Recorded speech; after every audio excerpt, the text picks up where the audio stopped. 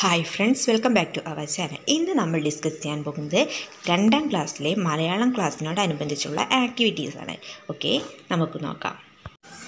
First ആക്ടിവിറ്റിയാണ് കാട്ടിലെ മൃഗങ്ങൾ. കാട്ടിലെ മൃഗങ്ങളുടെ പേരുകൾ എഴുതുക. ഓക്കെ നമുക്ക് നോക്കാം. കാട്ടിലെ മൃഗങ്ങൾ ആന പുലി സിംഹം മുയൽ കുറുക്കൻ നരി കുരങ്ങൻ മുള്ളംപന്നി ജിറാഫ് കടുവ കാട്ടുപോത്ത് മാൻ കാട്ടുപൂച്ച. കരടി ചെന്നായ അങ്ങനെ കുറേ മൃഗങ്ങളുണ്ട് അല്ലേ അവരുടെ പേരുകൾ കൂട്ടുകാർക്ക് അറിയാവുന്നതും കൂടി കൂട്ടിച്ചേർത്തിട്ട് എഴുതുക. ഓക്കെ ദ നെക്സ്റ്റ് ആക്ടിവിറ്റി എന്താണെന്ന് നോക്കാം.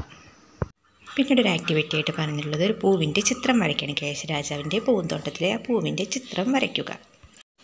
നെക്സ്റ്റ് ആക്ടിവിറ്റിയാണ് മണമുള്ള ഇലകളുടെ പേരുകൾ എഴുതുക. നോക്കാം. മല്ലിയില കറിവേപ്പില പുതിനയിലേക്ക് മണമല്ലേ? പിന്നെ ധാരകത്തിന്റെ ഇലയ്ക്കും അതുപോലെ മണമുണ്ട്. പിന്നെ മഞ്ഞളുടെ ഇല ഇഞ്ചിയുടെ ഇല രമ്പയില ബിരിയാണിയിലൊക്കെ ഇടാറില്ലേ? ഞാൻ രമ്പയില ദെൻ മൈലാഞ്ചിയുടെ ഇലയ്ക്ക് മണമല്ലേ? തുളസി ഇല തുളസിക്ക് മണമല്ലേ? തുളസി ഇല ദെൻ പനിക്കൂർക്കയുടെ ഇല. ഇതുപോലെ കൂട്ടുകാർക്ക് എഴുതാവുന്നതാണ്. നെക്സ്റ്റ് ആക്ടിവിറ്റി എന്ന് പറയുന്നത് ഈ പാഠഭാഗം നന്നായി വായിക്കുക.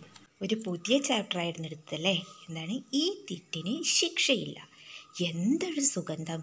എല്ലാവരും മൂക്ക് പിടർത്തി മണം പിടിച്ചു. എന്തിന്റെ മണമാണത്? ഇളഞ്ഞപ്പൂവിന്റെ മണമല്ല പാലപ്പൂവിന്റെതുമല്ല ചക്കപ്പഴത്തിന്റെതുമല്ല പിന്നെന്തായിരിക്കും അത്? കാട്ടിലാകെ സംസാര വിഷയമായി. ഓലേഞ്ഞാലിക്കിളിയാണ് സുഗന്ധത്തിന്റെ ഉറവിടം കണ്ടെത്തിയത്. കേശൻ രാജാവിന്റെ കൊട്ടാരത്തിലെ പൂന്തോട്ടത്തിലെ വിശേഷപ്പെട്ട ഒരു പൂ വിരിഞ്ഞു നിൽക്കുന്നു. ആ പൂവ് കാണാൻ എല്ലാവർക്കും അതിയായ മോഹം. ഇതായിരുന്നു ഇന്നെടുത്ത പാഠഭാഗം. ഓക്കെ കൂട്ടുകാരൊക്കെ നന്നായി വായിക്കണേ. അങ്ങനെ നമ്മൾ ഈ ചാപ്റ്ററിലെ ആക്ടിവിറ്റീസ് എല്ലാം ചെയ്തു. മറ്റൊരു വീഡിയോയുമായി വീണ്ടും കാണാം. നിങ്ങൾ ഇതുവരെ ചാനൽ സബ്സ്ക്രൈബ് ചെയ്തിട്ടില്ലെന്ന് സബ്സ്ക്രൈബ് ചെയ്യുക. വീഡിയോ ഇഷ്ടപ്പെട്ടാലെന്ന് ലൈക്ക് ചെയ്യുക. ഓക്കെ? ബായ്